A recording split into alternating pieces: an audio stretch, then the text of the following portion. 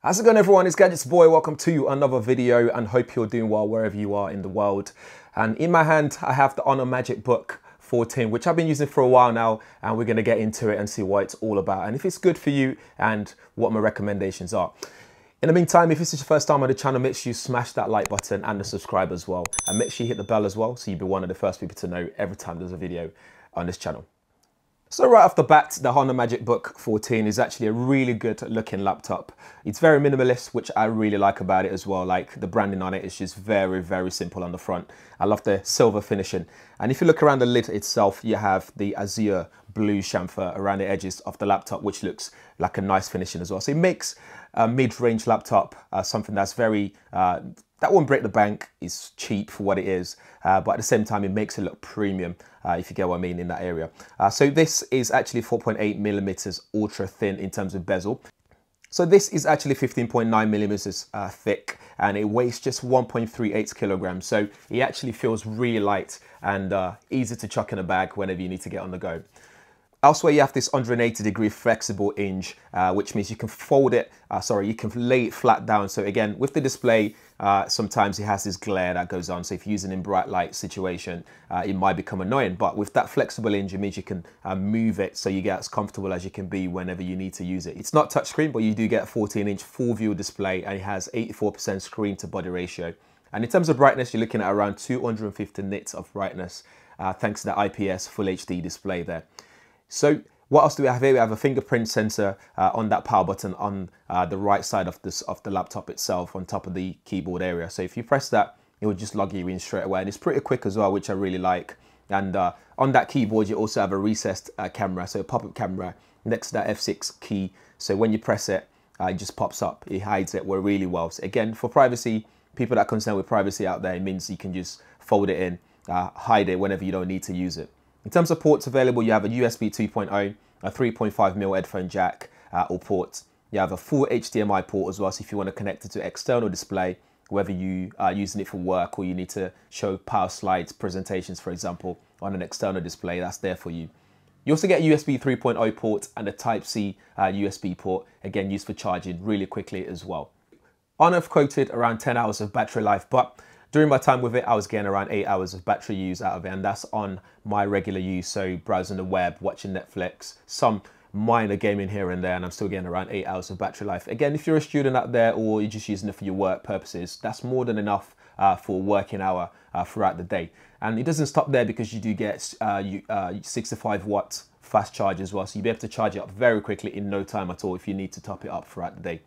For the internals, you have a Ryzen 5 3500U uh, processor in there with Vega 8 graphics card. For storage, you have a 256 gig of PCIe SSD card in there. So again, it means this is going to be really fast for file transfer, uh, installing applications and loading them up transferring files to your hard drive, that kind of stuff will be really quick uh, for you on the go. And that's also coupled up with 8 gig of RAM, so that's DDR4 RAM dual channel. Uh, again, very quick in terms of loading multiple applications at the same time, loading uh, applications that idle in the background. You can quickly put, pull them back up anytime you want. It runs really quickly. For the operating system, this is running Windows 10 Home. Uh, so again, if you want to upgrade it, you can upgrade it for, for the uh, people that will be using this kind of laptop, you don't need to do that at all. So this is great for work, uh, for your work purposes. If you're going to be typing for a long period of time, the keyboard has a nice travel to it, has a nice bounce to it as well. And what you notice is it's nice and quiet. So if you a press person, for example, or journalist, and you're typing away in a briefing, uh, you don't have to worry about the loudness of the keypad. I have to really bash it to hear it here, as you can as you can see there. Going back to that recessed camera as well, so that's 0.3 megapixel camera. Again, it's there. It's not the best of cameras out there, but it does the job in terms of uh, if you're going to be doing Skype calls or if you're doing online uh, courses, for example, you'll be able to communicate with your, tu uh, your tutor online using that camera with no problem at all. You also get a really good microphone in there. So you're looking at a dual microphone setup and it's got four speakers in here that's also uh, Dolby Atmos ready as well. So when you're watching films or listening to audio in any format you're listening at, whether it's Spotify or whatever platform, it sounds good and clear as well. Although it's down firing, which means if you have it on your lap or if you place it on a desktop, it means it becomes teeny tiny. But once you raise it up a little bit, maybe placed on uh, some sort of stand, which I normally do, uh, it means it sounds really good. You don't have to worry about that area at all. With that full HD display as well, if you're someone who is into heavy graphics design or you rely on color accuracy, it's probably not something that I'd recommend to you, but you, you can still do uh, photo editing on Lightroom, do quick stuff on there. Uh, you're looking at around 65% sRGB uh, color accuracy there. For gaming, I've been I was playing Forza Horizon 4 on here, and I was getting decent results, uh, frames per seconds, uh, around 20, just over, close to 30 in some cases. But this is not actually a gaming laptop, so if you're looking to buy it to do some heavy gaming, look elsewhere. This is not for you, but you can still do some low level gaming on there. You can play GTA 5 uh, uh, on lower graphics, so you just have to lower your settings in order to play some of these games. Bear in mind that when you're doing those kind of gaming, the battery will run dry very quickly, so keep that in mind. One thing that's also cool about the Honor Magic uh, Book 14 is that uh, Magic Link. So on here, you'd be able to tap uh, on a device or Huawei device, you'd be able to tap it using NFC and you'd be able to have a duplicate screen almost uh, with your smart of your smartphone on the laptop itself. So you'll be able to control your phone. So you can do things like uh, share files, drag and drop. Uh, you can even control your phone completely on your laptop. So again, increases that workflow, helps with workflow, increases productivity. When it comes to temperature whilst using it, whether it's a processor, processor intensive task or not, this stays cool all the time. And that's thanks to that S-shape uh, cooling fan that they've got in there as well. Overall, for a laptop that costs $549.99, I really can't fault the Honor Magic Book 14.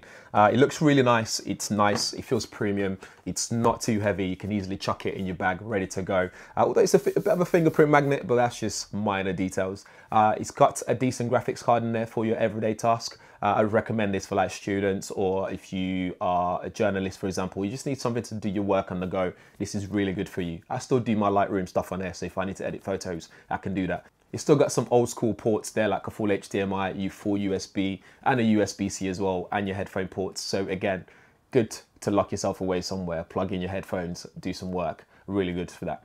So overall, you have decent display, you have a decent design. It costs next to nothing in terms of not breaking your bank for a laptop. That's actually really good for what it is. Uh, it's got decent uh, processor chip in there that's more than capable for everyday tasks and also you get all the ports that you need. What more can you ask for?